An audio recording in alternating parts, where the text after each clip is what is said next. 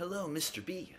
We got a metronome set for our practice this week, and I have it set to 60 BPMs, okay?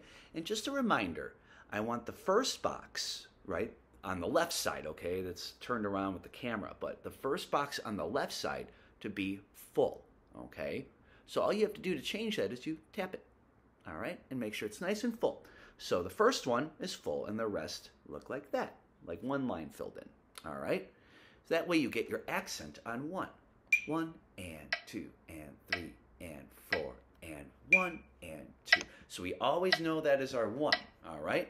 Now we're going to take our pattern that you learned two weeks ago and play it to our metronome. Very even, all right?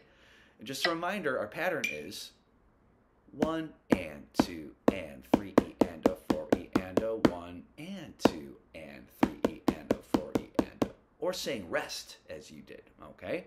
So here we go. I have my metronome set to 60. Try it with the video and then practice it on your own.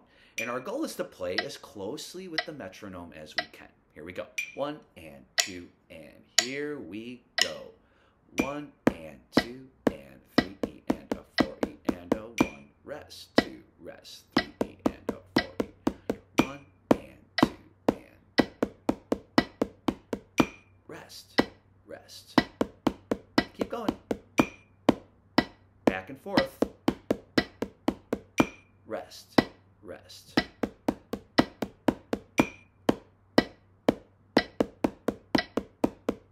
Rest, rest. All right, so we have that. We have a new technique, which is our flam, right? So you hold your left stick a little bit lower than our right, and we start with our left, and we have just a slight delay. So it's like hitting at the same time, just with a, a little delay in it, okay? Um, so keep working on that as well as your double, okay? And make sure it's bouncing, not like bum bum, but like bounce, all right? And it's all about the looseness. Make sure you use all three of those fingers at least, okay? And just work on that grip as well, Brody. All right? I will see you next week, dude. Good job.